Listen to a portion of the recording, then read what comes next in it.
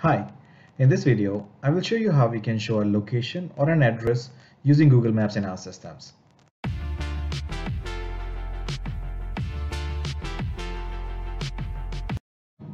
So here we are looking at my service studio where I have a mobile application that has one entity called customer and it has these attributes.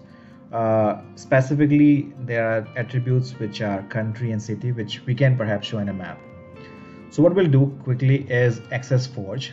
Uh, most of you know this is where a lot of uh, plugins exist. I've done a search for map and what I'm going to use is this one, Google Maps React, Reactive Library. I'll leave a link in the description so in case you want to access it you can do so now going back to my application let's first of all add a reference to the plugin which is what we're going to do with uh, the manage dependency uh, it will be a mobile and as you can see here in the uh, UI flows there are two which are available one is a map it has these input parameters and another one is single location map which has a fewer uh, input parameters in there.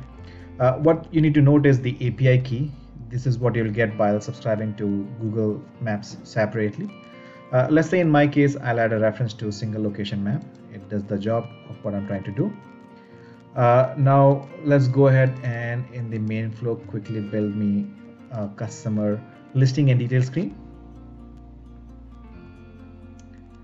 So the reference has been added. Now we're building the screen and what I plan to do is listing screen I think we can leave it as it is but on the detail screen this is where I can add a map now because the map was at the uh, user flow layer uh, this will be available here you can see and the particular one that I've added reference for. Uh, you can also do a search here in the widget window and do a drag and drop. Maybe city is something that I can display in a map. You can clean up other things in case you don't want these other uh, labels and uh, text fields. But basically after you've added the map what you need to look at is these properties. Now if you recall these are the same thing that you were seeing earlier when I was adding the reference. Uh, we can either pinpoint to an address or we can use latitude and longitude. This can also be uh, taken from maybe a location plugin which gives you the location. And there are a couple of other properties that you can control. In my case let's say very simply I'll put the address as the city and publish the application. So it is that straightforward to use it. And as, as I mentioned go ahead and try out other plugins also that exist on Forge and uh, I'm pretty sure you'll be able to use them in your application. So my application has been published. Let's launch it. Uh, listing page where all the customers are there. And if I tap on any of these customer I can see the details where it shows me the location of that particular customer.